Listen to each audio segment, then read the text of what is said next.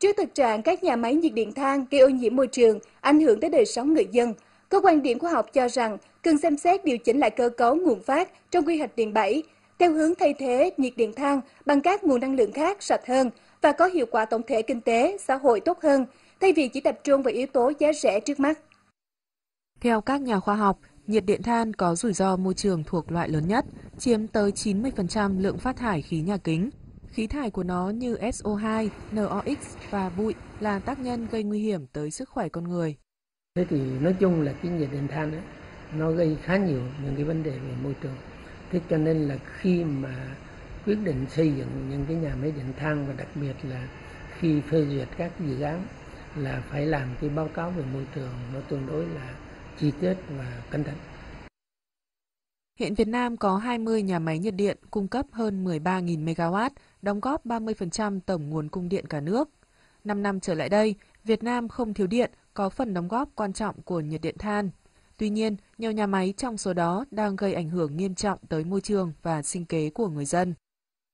Các cái điểm như Thái Bình, à, à, Hải Phòng, Quảng Ninh, Hà Tĩnh, Trà Vinh, Bình Thuận thì qua đi tất cả những cái điểm đấy thì chúng tôi nhận thấy rằng là người dân địa phương cũng như là chính quyền và cái thực tế nó chứng minh rằng là có rất nhiều cái tác động về à, sinh kế, về môi trường sống và cái sức khỏe của người dân.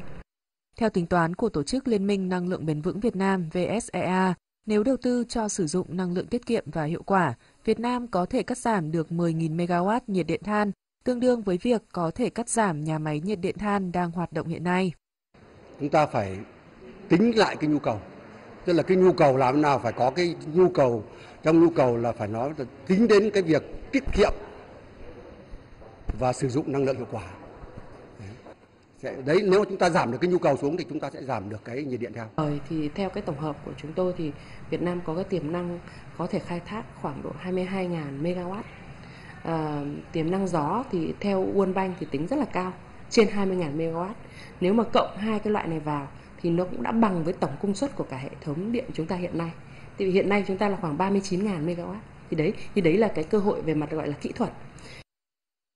Theo quy hoạch điện 7, nguồn cung từ nhiệt điện than sẽ tăng lên mức 26.000 MW, chiếm 49% trong tổng nguồn cung điện vào năm 2020 và đến năm 2030 sẽ đạt 55.000 MW, chiếm 53% tổng nguồn cung. Tuy nhiên, theo tính toán của Liên minh Năng lượng Bền vững, nhu cầu điện năng của Việt Nam trong các giai đoạn trên chỉ tương ứng với 70% so với dự báo trong quy hoạch điện số 7. Như vậy, đến năm 2030, Việt Nam sẽ chỉ cần khoảng 40.000 MW từ nhiệt điện than so với mức 55.000 MW dự báo, tương đương với việc có thể cắt giảm khoảng 20 nhà máy nhiệt điện. Mặt hàng thực phẩm đông lạnh, sữa, gạo và nhiều mặt hàng nhu yếu phẩm thiết yếu do doanh nghiệp